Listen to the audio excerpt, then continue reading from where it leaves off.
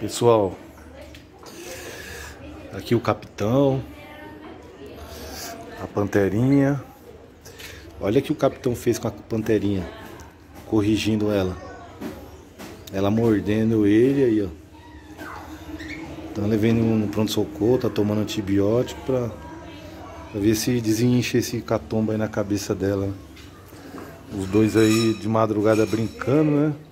Aí no mínimo corrigiu ela. Aí fez um catombinho aí. Tá uma coroinha linda, né? Fez uma coroinha linda na minha, na minha pretinha. Capitão aí. Rapaz, o capitão, ele tá completando os seus dois aninhos já. Já tá chegando na sua maturidade já, completando, já tá levantando a perninha pra, pra urinar. Ó a outra, ó. Né? Então o que que acontece? É, eu estou mudando o manejo com ele, né? Porque tipo assim, capitão, lá, o capitão ele é, é um cão de temperamento muito forte, muito forte mesmo. E a verdade é assim, eu sou o líder dele e ele tolera a minha família, minha esposa, meus filhos convive bem, mas o líder dele sou eu. Então o que que acontece? Como ele está na sua maturidade já, amadurecendo, então o comportamento dele está mudando, está mais sério, entendeu? Está deixando de ser aquele cachorro brincalhão, né? Para ser um, um cachorro com um comportamento mais forte ainda. Então o manejo aqui está mudando, né? Já chamei, já expliquei para minha esposa que como funciona para ela não, não afrontar ele, né? É, para que não pode possa acontecer nenhum acidente, né? É, é de indivíduo e esse indivíduo aqui, meu irmão, não é brincadeira não. Bom, o manejo meu, eu sabia que ele tinha um, um comportamento forte, um temperamento forte. Eu não quis quebrar esse temperamento. Eu tenho culpa? Tenho um pouco de culpa. Eu não quis quebrar esse temperamento porque eu, eu tava precisando de um cão de guarda. Era um risco? Era um risco. Tá aí agora aí, ó. Né? Na sua maturidade, me respeita como líder dele e tolera minha esposa, minha família aqui.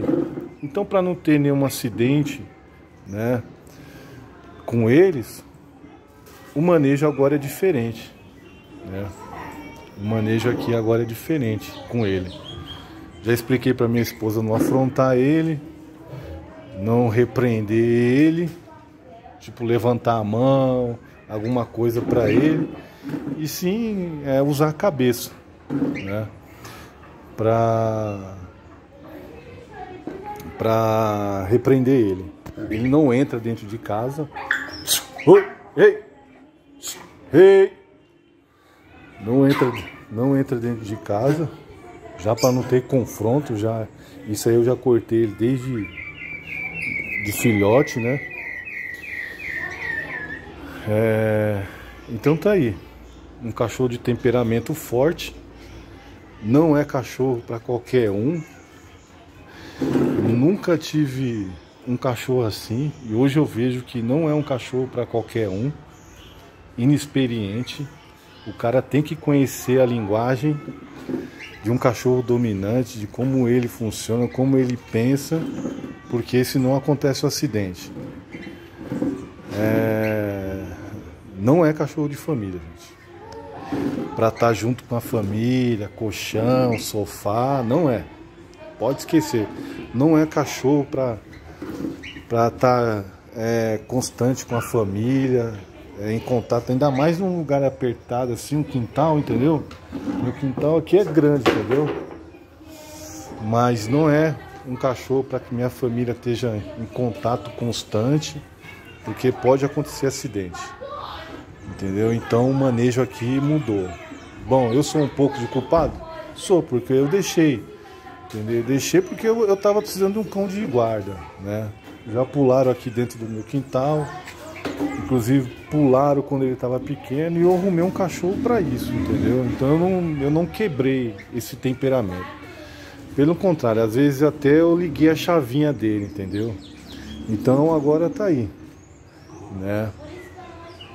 É, eu comprei também que futuramente eu penso também de ter uma chácara, né, para mim e levar eles, entendeu? Esse é, esse é o meu plano, o meu projeto, entendeu?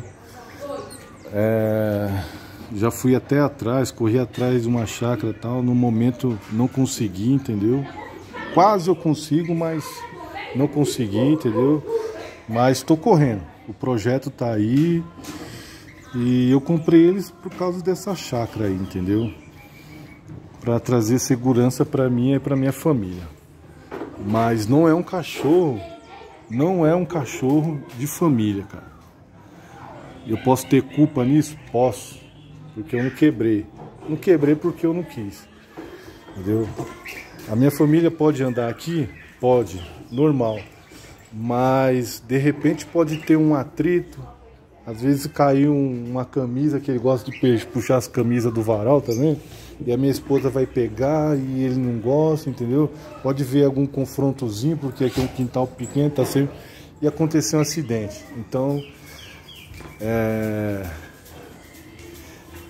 E é de indivíduo, eu já vou logo falando logo, é de indivíduo para indivíduo, entendeu? Então esse indivíduo aqui, esse indivíduo aqui não é um cão é, para qualquer um e não é um cão de família para estar tá é, para estar tá com a família lidando assim. Não é, gente, não é.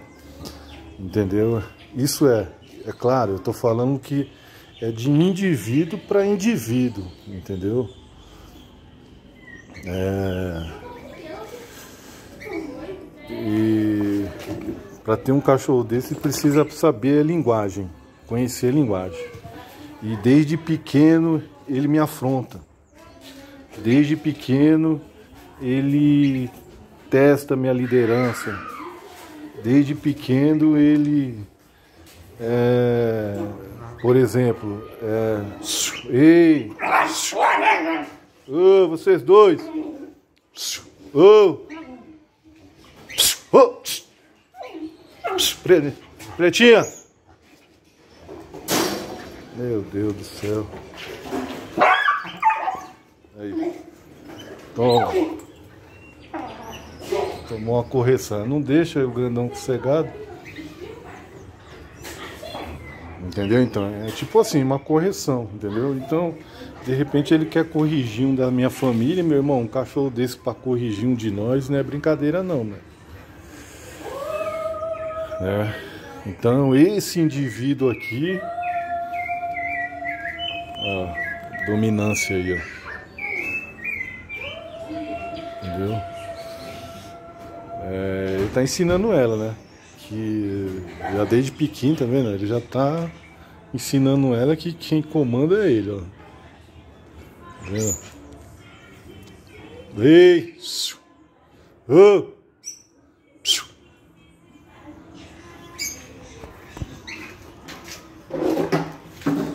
Chega!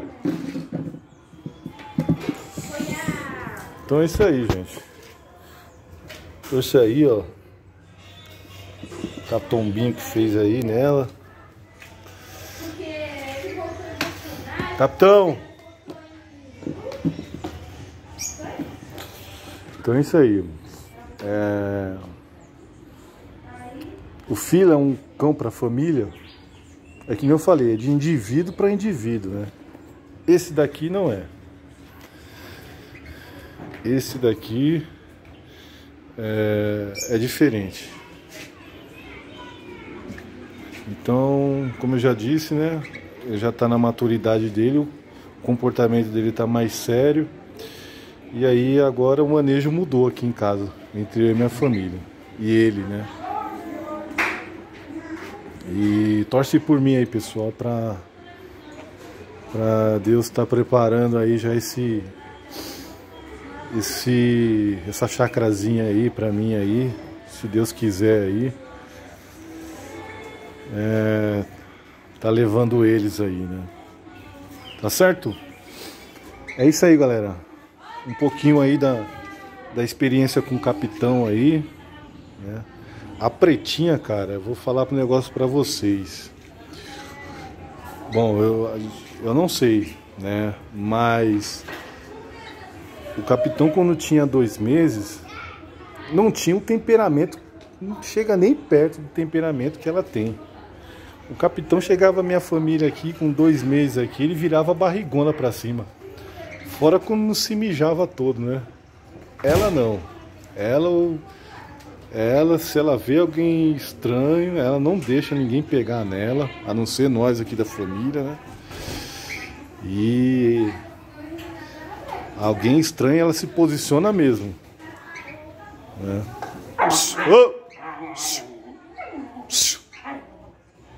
Pantera, ela é atrevida. Ela não.